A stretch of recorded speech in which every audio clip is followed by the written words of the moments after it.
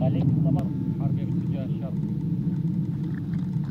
Dowladda turkiga ayaa mar kale howlgal ka fulinaysa gudaha dalka suuriya iyadoo weerar la sii qorsheeyey ku qaaday ciidamada milatariga suuriya ee daacadda u ah madaxweyne bashaar al asad weerarkani ayaa khasaaro weyn gaadhsiiyey ciidamada asad sida ay sheegtay wasaaradda gaashaandhigga ee dalka turkiga. Wasaaradda gaashaandhigga ee dowladda turkiga ayaa sheegtay inay weerareen in ka badan laba iyo siddeetan xarumood oo ay ciidamada milatariga suuriya ku leeyihiin waqooyiga dalkaasi gaar ahaana gobolka idlib in ka badan laba boqol sagaal iyo sagaashan ka mid a qalabka milatariga dowladda suuriya leeyihiin ayaanu burburinay iyadoo sidoo kalena xarumo kale oo fara badan oo ay ciidamada milatarigu leeyihiin aanu iyagana cagta marinay.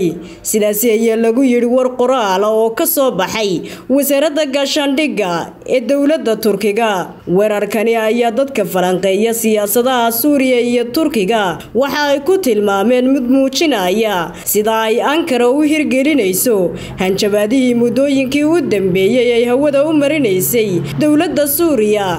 Taasi oo ahayd inaanay u dulqaadan doonin waxa ka socda waqooyiga waddanka suuriya